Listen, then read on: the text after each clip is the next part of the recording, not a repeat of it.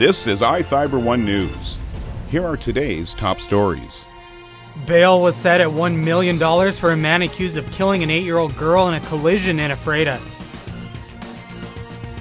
Washington Trust Bank and Ephrata showed their support for Grant County emergency personnel with a barbecue on Friday. Members of the Grant County Economic Development Council met the new Grant PUD General Manager Kevin Nordt during their quarterly luncheon on Thursday at the Columbia Basin Technical Skills Center. From the iFiber One newsroom, this is iFiber One News. And it starts now.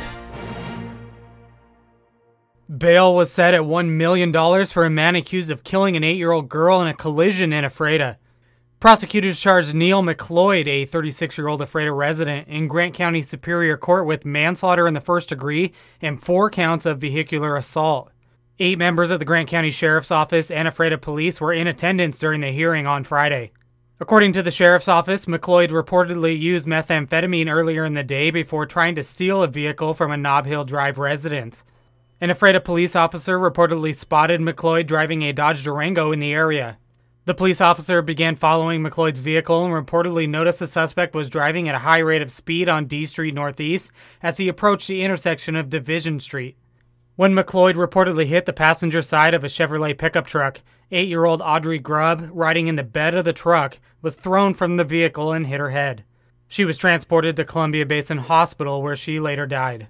Two other people in the truck, Justin Grubb, a 33 year old Ephrata man, and his girlfriend Elizabeth Mills, a 35 year old East Wenatchee resident, were injured in the collision. Grubb, a corrections deputy with the sheriff's office, was released from the hospital on Thursday. Mills remains at the Spokane hospital. This is Joe Utter for iFiber One News. Washington Trust Bank and Ephrata showed their support for Grant County emergency personnel with a barbecue on Friday. Grant County law enforcement, firefighters, paramedics, and county officials attended the event outside the Grant County Courthouse. Washington Trust Bank branch manager Jeff Mackey, who has experience in law enforcement and attended the police academy with new Moses Lake Police Chief Kevin Fuhr, complimented the work of law enforcement in the county. Well, we've been seeing a lot of stuff on the news nationwide and just thought, you know, it'd be kind of good. We have a really great law enforcement here, quality, and so we don't have some of the stuff we see across the country. And I thought, you know, it'd be kind of our way of getting back to the community, you know, just feed them lunch. So just call their home office and have people come out and set this up for them. It's all for them.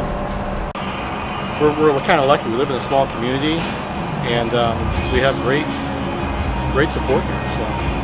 Mackey took a moment to personally thank everyone who attended the event, and he said he was pleased with the turnout. This is Joe Utter for iFiber One News.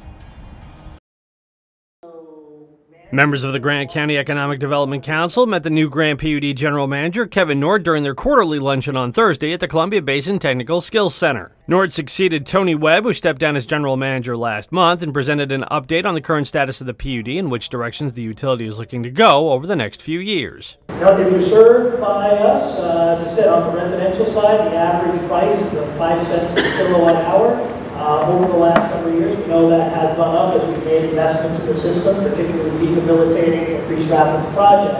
So that is a crown jewel asset, and about every 50 years or so, you have to make investments in it. It is about the lowest cost power producer in the nation and should be in good shape for the long haul. We're very close to the tail end of uh, the improvements there but we are going to continue to try to work very hard to keep the prices low and stable.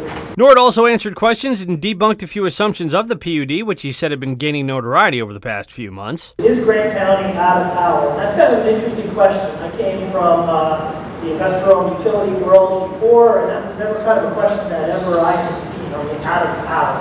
No, just with blended additional resource and stuff. And we are not. We are not tapped out at Priest Rapids. And even if we were, uh, we are doing long-term resource planning. But we have a significant amount of headroom still for firm energy at the Priest Rapids project to grow into, which positions us well. And, and that low-cost, very clean base resource for the long haul positions us well. Nordt will be at the next Grant PUD Board of Commissioners meeting on July 26th. In Moses Lake, Devin Higgins for iFiber One News.